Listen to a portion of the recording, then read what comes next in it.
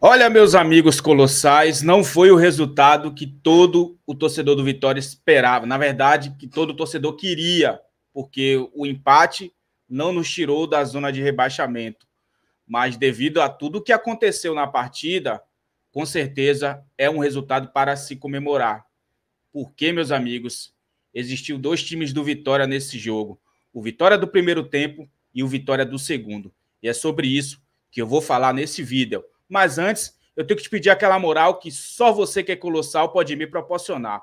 Por favor, fortaleça este vídeo com seu like, faça parte da nossa família se inscrevendo no canal se não for inscrito e ative o sininho de notificações para você não perder nenhum conteúdo como esse. Para você que não me conhece, eu sou o Lúcio. Sejam muito bem-vindos ao nosso canal Geração Colossal, o canal de todos os rubro-negros. E dito todas essas coisas importantes, sem mais delongas, depois da intro, vamos para o vídeo.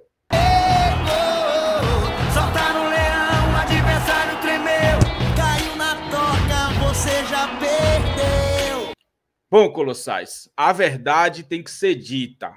O Vitória do primeiro tempo foi um time apático, um time que.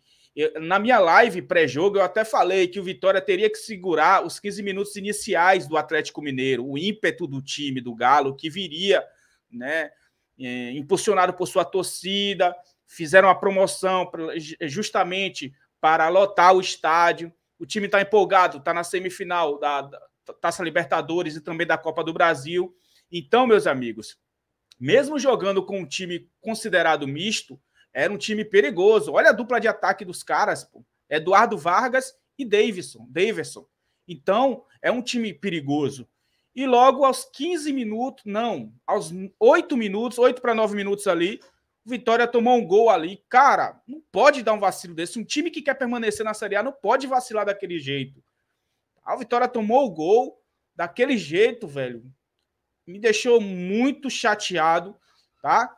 E o que mais me deixou chateado foi que a, a postura do time não mudou depois desse gol.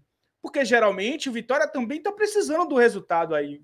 Eu acho que o, o interesse do Vitória era até maior do que o próprio Atlético Mineiro. E o time marcando da mesma forma, com linhas praticamente baixas, ali na, no, Alejandro marcando ali na linha do meio-campo, o adversário, sem pressão na saída de bola do adversário. E estava faltando isso, porque o Galo estava com liberdade, tocando a bola no campo de defesa. E aí, meu filho, o tempo passava e não tinha como resolver essa situação. Mas, meu amigo, quando chegou no segundo tempo, mesmo Vitória levando o segundo gol, que aí já foi coisa de deixar a gente mais chateado ainda, porque levou o segundo gol no, no no final do primeiro tempo, não pulando aqui as coisas, mas no segundo tempo, cara, as coisas mudaram porque Carpini me, me surpreendeu, e digo positivamente, porque eu saí chateado no primeiro tempo do intervalo, porque o time continuou com a mesma postura, não estava marcando a saída de bola do time do Galo, porque é uma zaga que ainda não estava entrosada. Lianco tá chegando, é, chegou recentemente no time, tá? Esse Fux não é o titular, então era uma zaga ali considerada que não tinha aquele entrosamento ainda ideal. Mas os caras estavam tocando com liberdade porque não tinha pressão na saída de bola. No segundo tempo, é, Carpini fez uma alteração, tirando o Carlos Eduardo um ponta, tá? E botando ali mais um homem fazendo uma dobradinha no, nas laterais. Botando um homem de, que joga ali na ponta, fazendo uma dobradinha. Aumentou a marcação do time botou os caras para marcar lá a saída de bola do, do, Atlético Mineiro, que teve muita dificuldade em sair, porque estava faltando isso para o Vitória. E aí marcou a, a, saída de bola, o time do Atlético se embananou e deu certo, cara. Eu até fiquei chateado quando ele tirou o Gustavo Mosquito para pôr Janderson, mas Janderson, dentro das suas limitações técnicas, jogou bem também. Então, é, esse empate aí, cara, depois eu vou fazer um vídeo com análise mais é, fria e calculista dos lances, mas hoje é só para falar por cima o que eu achei da partida. Eu achei que teve o Vitória no primeiro tempo e o Vitória no segundo tempo, e eu gostei desse resultado. Apesar de que eu sei que muita gente vai ficar chateado com tudo que, que, que rolou, é normal, mas o empate não foi de todo os resultados piores. Até porque esse empate aí vai fazer com que o Vitória eleve a sua moral para os próximos jogos, que são também muito importantes, porque são confrontos diretos, onde o Vitória vai enfrentar o Bragantino e logo em seguida a Fluminense, dois times que, assim como o Vitória, está brigando para não cair, está brigando para se livrar dessa zona maldita aí de, do rebaixamento. Então, é, essa foi uma análise por cima do que eu achei a partida. Gostei muito, inteligente, foi inteligente Carpini, uma sacada de mestre. Eu só achei que ele demorou muito para fazer isso. Se ele fizesse essas alterações sem precisar mudar o time, mas sim mudasse a formatação do jogo, fazendo, fazendo com que o Vitória marcasse a pressão, a saída de bola do adversário, mas eu não sei se com esses jogadores que ele tem como titular, teria essa capacidade. Para que o Vitória avançasse, ele teve que fazer uma dobradinha nas laterais. Então foi importante isso. Ele botou Edu ali, jogando de falso lateral direito, também um, como um terceiro, uma espécie de terceiro zagueiro.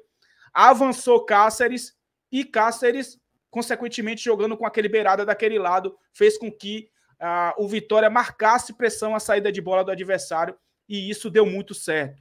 Né? Parabéns para Carpini, que foi inteligente e fez uma sacada de mestre, mesmo que no segundo tempo Vitória vacilou, porque poderia sair com resultado melhor.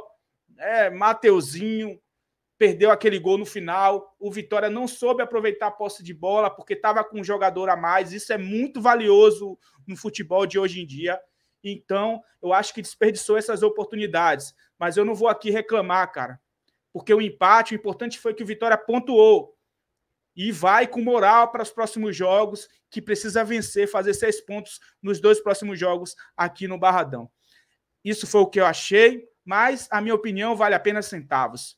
A sua opinião aqui vale euro, vale dólar. Eu quero saber o que é que você achou. Expresse o seu sentimento aqui, porque este vídeo está acabando imagens, mas ele vai continuar aqui, o debate sadio, no seu espaço, nos comentários. O nome da palavra é gratidão.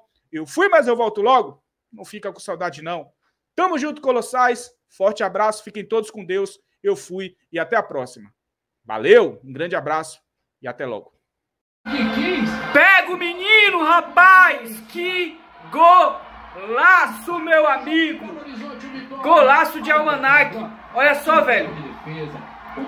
Rapaz, no campo de defesa, aos trancos e barrão, pedalou, passou, deu a caneta, cortou o segundo, bateu que gol! Laço de Alejandro, meu amigo.